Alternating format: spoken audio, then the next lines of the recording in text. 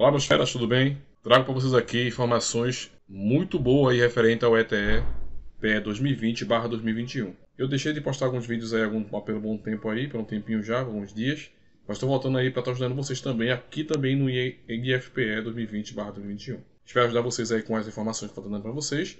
Fica até o final aí que eu vou estar dando uma informação muito boa aí para vocês no final tá? Essa informação aqui você não deve perder. Vocês pularem o vídeo aí, vocês vão estar perdendo muita coisa aí no decorrer desse vídeo, beleza? Se você puder compartilhar com os amigos de vocês, também eu agradeço. Então vamos lá para o vídeo. Primeira coisa, o IFPE esse ano, como já foi dito já por mim aí, no, em outros vídeos que eu já fiz, é que o IFPE esse ano agora vai ser por nota, né? Todo mundo já sabe disso. Então, por nota. E qual vai ser a nota? A nota do oitavo ano, certo? Nova do oitavo ano. Então essa aí vai ser exatamente a nota que vai ser cobrada para, para classificar você para o IFPE. E o que que essas notas me falam, no caso? Vai acontecer o seguinte, elas vão ser pegas cinco matérias, né? Língua portuguesa, que no caso é o português, matemática, certo? História, geografia, geografia e ciências, certo? Então aí você está observando aí que eu tenho cinco matérias aí a ser analisado nela. E qual é o critério maior? Como é que eu vou saber que eu vou passar? Nela vão ter pesos, pesos que vai ajudar você a se classificar ou desclassificar. Depende bastante. Então o, o, o peso de português é exatamente peso 2. O peso de matemática também é peso 2. O peso de história, peso 1. Geografia também peso 1. E ciência também peso 1. Então, se você observar direitinho, esse aqui é o critério. O critério que fala na questão é que se português, as duas aqui, forem maiores, as maiores notas aqui, as maiores notas forem em português ou em matemática, significa dizer que você terá uma chance maior de poder entrar. Então, quanto maior você for passando, quanto maior for sua nota, você vai subindo na sua classificação, você vai ficando no topo. Se alguém passou, tem uma nota maior, ela vai, vai, vai, ficar na sua frente e você vai ficar no segundo. Se aparecer uma pessoa maior, vai ficar, você vai ficar no terceiro. Depois você volta para o segundo de novo. Então vai ficar nessa situação aí. Então aí dependendo de sair no final, eles vão ver a classificação de que você ficou e vai saber se você passou ou não. Lembrando que também tem remanejamento também, tá bom? Se você ficar fora da, das vagas, aquelas pessoas que estiverem fora ali que não atingiram os critérios que o IFPE vai estar tá cobrando, vocês vão ficar fora e, e aquele que está abaixo do remanejamento vai ser um subir. Então, primeiro critério de nota vai ser esse: pesos, Peso 2 português, peso 2 matemática, 1, 1 em 1, ciências, história geografia. Se tirar a maior nota em português e matemática, você tem uma chance maior de passar. E lembrando que vai ser trabalhado com a nota do oitavo ano, certo? Essas são as primeiras coisas que eu tenho para falar a vocês aqui. É, qual é a média que é usada para trabalhar é, com esse tipo de prova, com esse tipo de cálculo aqui? É chamada de média, média ponderada. Eu trabalhei muito isso nas revisões para a prova do ETE. Muitos de vocês viram isso aí. Média ponderada, é aquela média que tem, tem média e tem peso, certo? Cai muito em provas isso.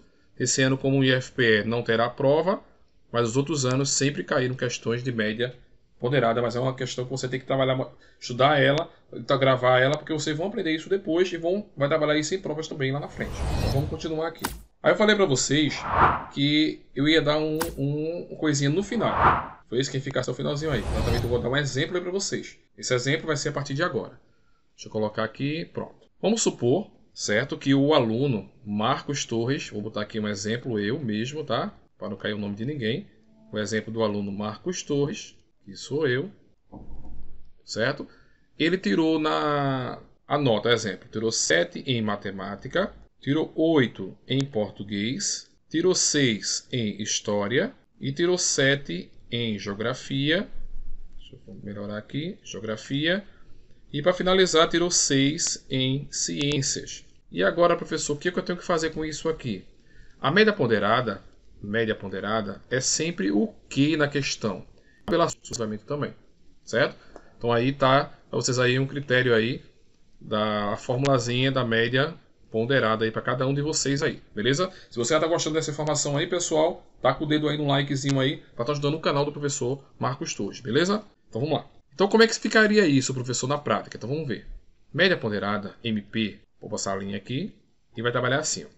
Qual foi a primeira nota que ele foi tirou? Ele tirou 8 em matemática. Então, tirou 8 em matemática. Qual foi o peso de matemática? Peso 2, que a gente já viu, lá em cima. Mais a nota de português, que é 8, multiplicado pelo peso 2 também, né? Que português e matemática é um peso 2.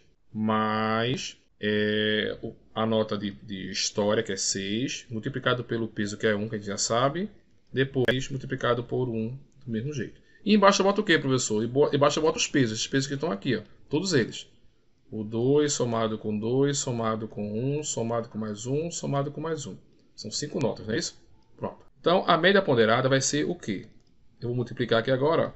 16, 16 também. 6 vezes 1 vai dar 6. 7 vezes 1 vai dar 7. E 6 vezes 1 vai dar 6. Só recapitulando, 8 vezes 2, 16. 8 vezes 2, 16. Certo?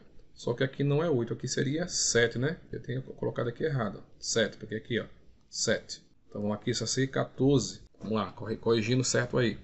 Então ficou 14, 16, 6, 7 1, tá? Seguindo aqui o padrão como está aqui. Embaixo, 14 com 16 vai dar 20, 30. 30 com 13 vai dar 43. Com mais 6 vai dar 49, não é isso? Somando tudo, 14 com 16, com 6, com 7 e com 6. 14 com 16 vai dar 30, 40. 40 com 13 aqui, 6 mais 7 dá 13. 40 é 40 com 13, tá errado aqui. 40 mais 13 mais 6. Que é isso, professor? 59. Então 59 dividido por 7. Vamos dividir isso aqui.